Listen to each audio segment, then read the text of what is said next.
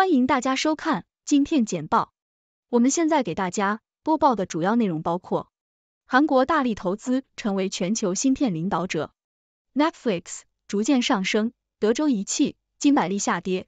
二零二四年一月二十四日，星期三。当前的市场上存在着技术机遇和风险，错过了英伟达，在他们涨幅达到百分之四十七至百分之九十五之前，购买这两只非常便宜的人工智能 AI 股票。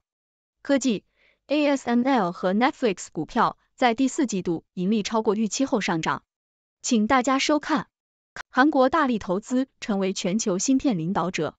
德国之声。韩国宣布，计划在未来二十三年内投资约四千七百亿美元，在京畿道建设全球最大的半导体集群。该项目与三星电子和 SK 海力士合作进行，旨在到二零三零年将芯片生产的自给率提高到百分之五十，并扩大韩国在其他芯片和处理器市场的份额。该集群将包括各种工业区，总面积达到两万一千公顷，预计将创造近三百五十万个就业机会。三星和 SK 海力士计划到二零三零年在该集群中每月生产七百一十万片晶圆。Netflix 逐渐上升，德州仪器金百利下跌。二零二四年一月二十四日，星期三。美联社 Netflix 股票大涨五十八点三二美元，或百分之十一点八，至五百五十点五亿美元。因这家流媒体娱乐巨头为当前季度给出了强劲的盈利预测。当前的市场上存在着技术机遇和风险。雅虎周二，标普五百指数再次创下历史新高，科技板块继续主导市场。Boxcross 全球市场与策略负责人基斯布利斯表示，科技板块将继续引领市场的当前反弹，但投资者需要扩大反弹范围，使其可持续。布利斯指出，IBM 是一只值得关注的股票。因为其百分之七十五的收入来自软件和咨询业务，该公司正在考虑与人工智能实施相关的咨询公司合作。错过了英伟达，在它们涨幅达到百分之四十七至百分之九十五之前，购买这两只非常便宜的人工智能 AI 股票。雅虎 T Bank Capital Markets 提高了对 Advanced Micro Devices AMD 和 Micron Technology 的目标股价。称芯片制造商将受益于人工智能 AI 的日益普及。分析师 John Wayne 将对 AMD 的目标股价从一百七十美元上调至一百九十五美元，较当前水平上涨百分之十九。他提到了对 AMD 服务器处理器和新推出的以 AI 为重点的加速器的需求。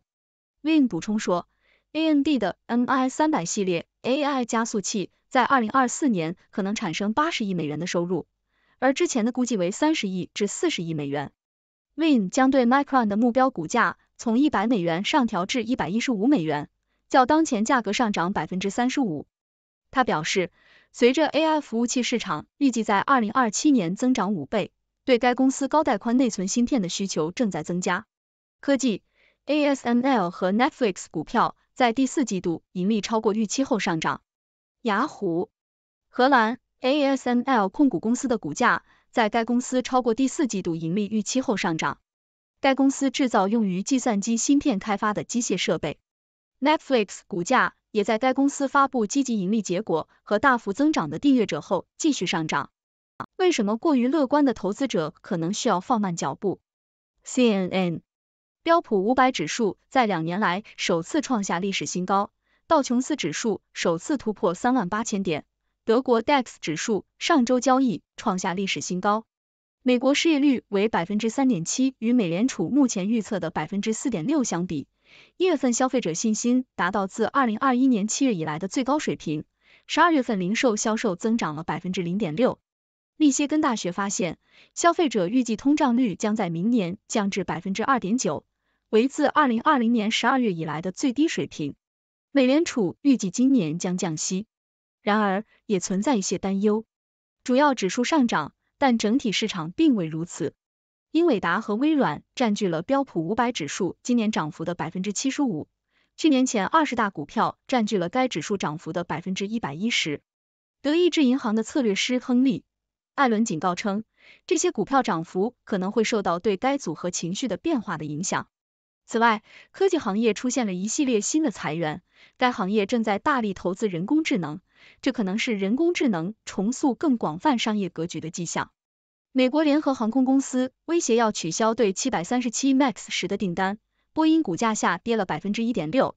因为美国联合航空公司透露其 MAX 九喷气式飞机将在本月底之前继续停飞。你的四百零一 K 计划、汽油价格和房屋三个令人惊喜的理由让你感到开心。CNN 改善的消费者情绪、上涨的股票价格和下降的抵押贷款利率是对二零二四年美国经济持乐观态度的三个原因。经过几年的低迷，美国经济终于再次活跃起来。通胀率低于过去四十年的水平，就业市场强劲，消费者情绪高涨，上涨的股票价格提振了四百零一 K 账户，并为今年的表现带来了良好的预兆。股市的上涨部分归功于包括苹果、亚马逊、微软和特斯拉在内的大型科技股。消费者情绪的上升也是美国经济的一个好兆头，因为消费支出占经济产出的三分之二。更好的情绪还会提升对乔拜登总统处理经济问题的看法，这对于二零二四年的初选非常重要。美国住房市场也在改善，抵押贷款利率降至二零二三年五月以来的最低水平，这使得购房者更容易负担得起房屋，并可能导致更多的住房供应进入市场。美联储今年打算降低利率，这可能进一步降低抵押贷款利率，提高购房的可负担性。期货上涨。Netflix 的用户增长乐观，芯片股上涨。雅虎周三，美国股指期货上涨，原因是 Netflix 股价在盘前交易中上涨了百分之十点一，而芯片制造商 ASML Holding 报告了强劲的收益。Netflix 的用户增长超出预期，得益于热门新剧，而 ASML 的收益超过预期，并且创下有史以来最高的季度订单，推动了包括 Nvidia、英特尔。AMD 和 Marvel Technology 在内的芯片股的上涨，特斯拉股价上涨了百分之一点五，因为该公司通知供应商，希望在二零二五年中期开始生产一款名为 Redwood 的新电动汽车。资本呼叫 SAP a Berlin 路透观点，德国软件公司 SAP 宣布计划裁员八千人，占全球员工总数的百分之七，因为人工智能 AI 使员工能够更高效地完成任务。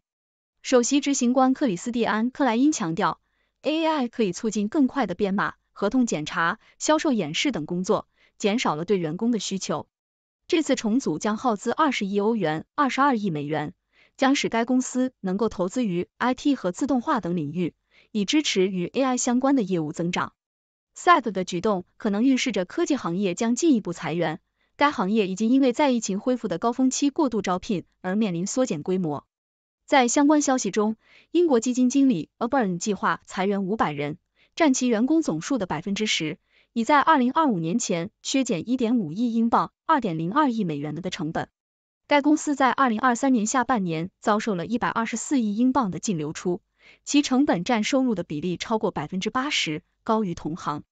Arbun 的首席执行官斯蒂芬·伯德可能需要寻求买家，因为其股价自七月以来已下跌百分之二十五。中国遏制成为一种双输的策略，对每个人都不利。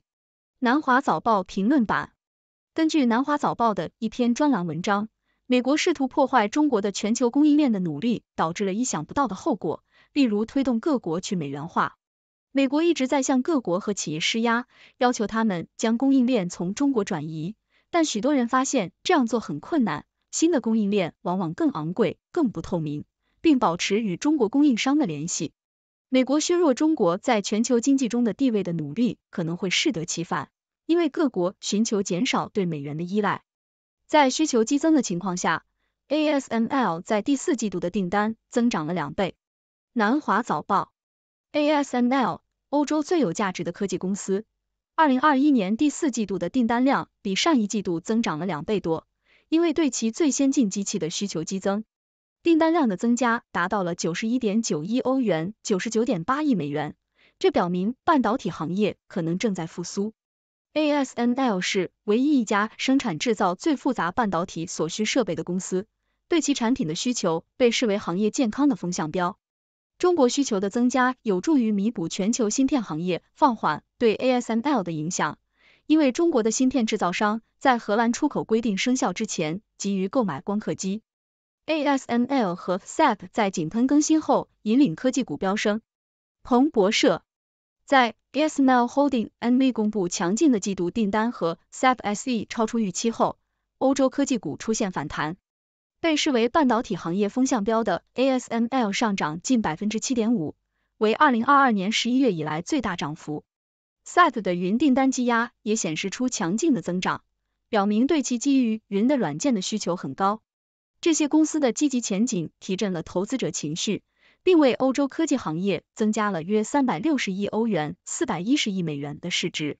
持续的上涨不一定意味着广泛的上涨。晨间简报，雅虎科技股再次推动了股市的上涨。根据雅虎财经的贾里德·布利克雷的说法。辉煌六人组占据了标普五百指数年度回报的百分之八十九。据 FactSet 预测，科技行业的主导地位可能会继续，因为预计其将报告年度收益和营收的增长。尽管这可能会对股票价格造成打击，但该行业在去年打破了预期。文章质疑当前的上涨是否需要扩大以保持持续。中国表示。欧盟对电动汽车补贴进行的不公平调查可能会损害两国关系。彭博社，中国驻欧盟大使傅聪称，欧盟对中国电动汽车制造商进行的国家补贴调查是不公平的。傅聪警告称，如果中国采取与欧盟相同的做法，有很多事情可能会受到调查。欧盟对中国电动汽车制造商的调查加剧了双方之间的贸易紧张局势。预计欧盟将于周三公布提案。允许其审查，并可能阻止对敏感行业的外国投资，其中以中国为主要目标。各位观众，大家好，我是来自六度世界的六博士，是常驻六度简报的观察员。今天我要和大家分享一些最新的新闻。首先，韩国宣布计划在未来二十三年内投资约四千七百亿美元，在京畿道建设全球最大的半导体集群，旨在提高韩国在芯片生产和处理器市场的份额。这个计划将创造近三百五十万个就业机会，并有望在二零三零年将芯片生产的自给率提高到百分之五十。其次，Netflix 的股票上涨了百分之十一点八，因为这家流媒体娱乐巨头给出了强劲的盈利预测。科技板块继续主导市场，标普五百指数再次创下历史新高。不过，投资者需要注意，科技行业出现了一系列新的裁员。这可能是人工智能重塑商业格局的迹象。此外，荷兰的 ASML 控股公司和德国的 SAP SE 在第四季度的业绩表现超出预期，带动了欧洲科技股的上涨。ASML 的订单量增加了两倍多，显示出半导体行业可能正在复苏。SAP 的云订单积压也显示出强劲的增长，表明对其基于云的软件的需求很高。最后，中国对欧盟对中国电动汽车制造商进行国家补贴调查的回应表示不满，认为这是不公平的。中国警告称，如果欧盟继续这样做，将可能对敏感行业的外国投资进行审查和限制。以上就是今天的新闻内容。我们看到科技行业在市场中的地位日益重要，各国都在加大投资力度。同时，人工智能也将对商业格局产生重大影响。需要我们保持警惕。那么，亲爱的观众，你有什么样的想法呢？请在下方留言，我们一起来讨论吧。谢谢您的收看。上面播报的内容是六度团队推荐的全球专业媒体、智库、政府机构和行业专家的最新报道、分析简报。更详细的内容，请大家去这些媒体、智库的网站阅读。这些内容并不一定反映六度简报的立场，亦不能作为任何决策的建议。六度团队由专业媒体人、学者、科学家组成的独立新型媒体，大家可以根据自己的专业要求订阅各种简报。网址是六度 brief 点 com。您在世界任何地方都可以通过电邮收到六度简报。